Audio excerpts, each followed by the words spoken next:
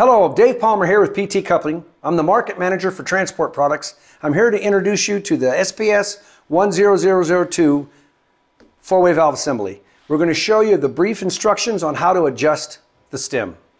This is your stem adjustment for standard SPS 1002. When addressing the valve, you'll need both your hands, a quarter inch Allen wrench, and a three quarter inch wrench. The first thing you do is break the lock nut loose. Turn the Allen to the loosen, which is counterclockwise, until the stem can be turned with your fingers. The Allen can be turned with your fingers. The valve handle will be locked up.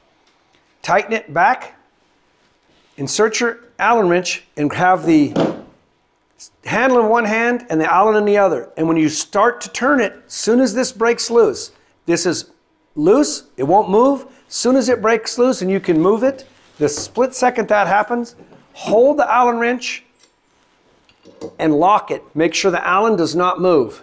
At that point, you check it. Can you go full rotation?